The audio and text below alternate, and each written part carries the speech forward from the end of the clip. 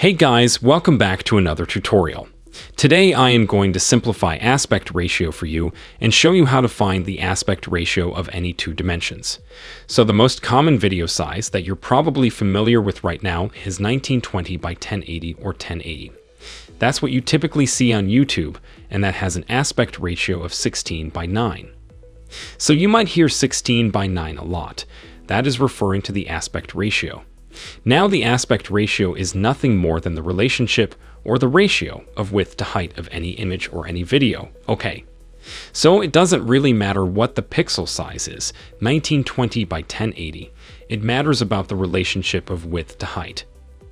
So the first number in the aspect ratio is always going to be the width, and the second number is always going to be the height. So if you glance at an aspect ratio, such as 16 by 9, which is one of the most common you're going to be dealing with, the 16 is the width and the 9 is the height.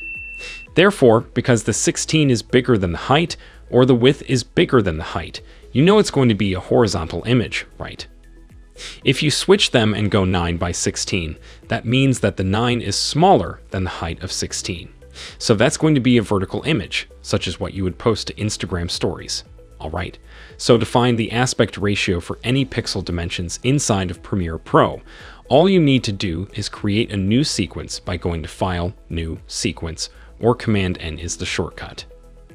Go to Settings here in the middle and right here. This is the frame size. Whatever you put into these two fields, the horizontal is also the same as width, the vertical is also the same as height. Whatever you put into these two fields, Premiere Pro will automatically generate the correct aspect ratio right here. So we know that 1920 by 1080 is 16 by 9.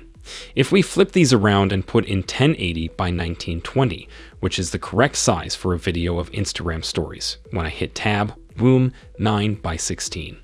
No matter what you put in here, it's going to automatically generate. Just type in the number and you can always check to see that you have the correct aspect ratio.